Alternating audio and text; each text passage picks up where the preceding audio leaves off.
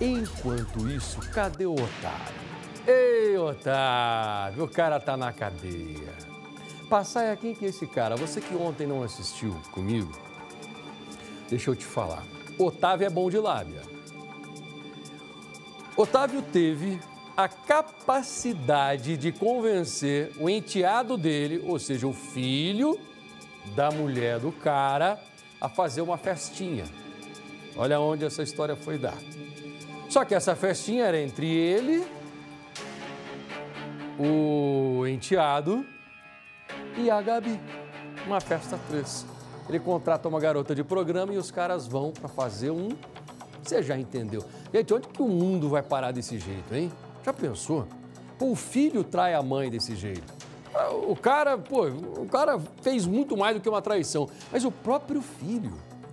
Obviamente que essa festa não ia terminar bem. A garota é morta e assassinada e o Otávio é visto depois pegando uma malinha e ele vai com a malinha dele embora. Pá, levando o corpo da Gabi. Quer ver? Olha a imagem aí. Nós mostramos esse caso aqui no Cidade Alerta e a polícia, depois disso, conseguiu prender o Otávio. Cadê o Leonardo Gomes que vem aqui para conversar com a gente ao vivo e trazer os detalhes?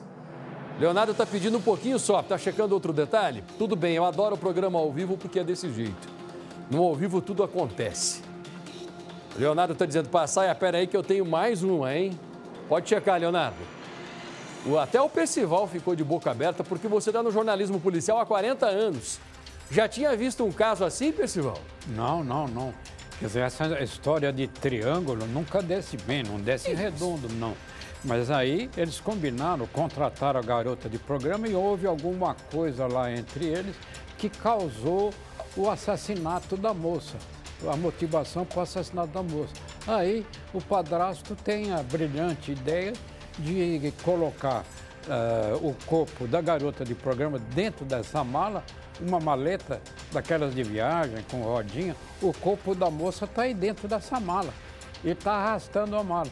Ele vai levar esse corpo para um lugar ermo, um lugar abandonado e jogar o corpo lá, passar. Olha, esses dias, Percival, o Brasil ficou escandalizado porque tinha uma história do sogro e o genro.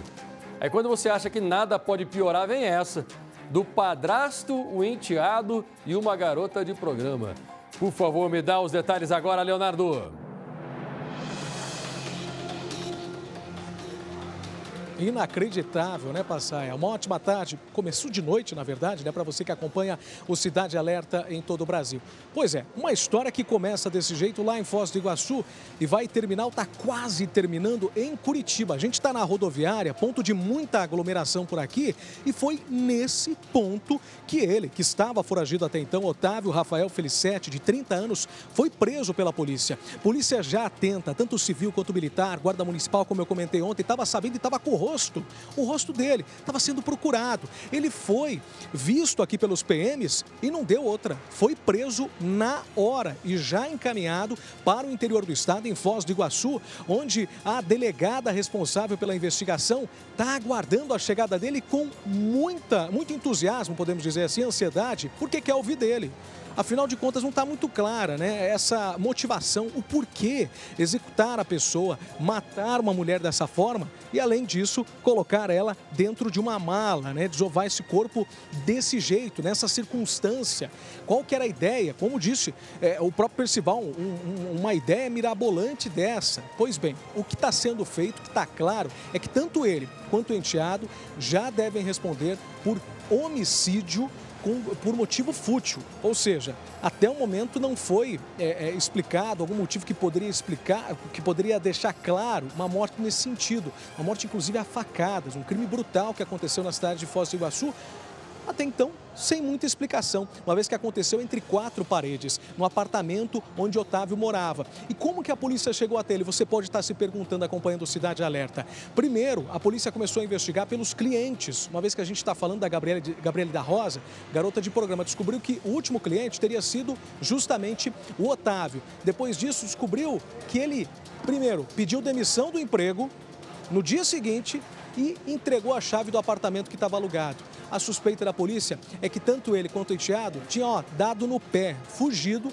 para Curitiba. Suspeita estava certa, uma vez que nós tivemos essa prisão nas últimas horas, bem aqui na rodoviária da capital, nesse exato ponto onde nós estamos aqui, Cidade Alerta nesse exato ponto, onde nós temos, portanto, a prisão e agora a polícia aguarda para ouvir ele nas próximas horas, muito provavelmente na segunda-feira, e poder concluir a investigação nesse início de semana e entender e poder montar de vez as peças do quebra-cabeça dessa história de um crime brutal aqui no Paraná. Passaia. Ok, Leonardo, obrigado pelo pelos detalhes por enquanto. Assim que você tiver mais, eu volto contigo.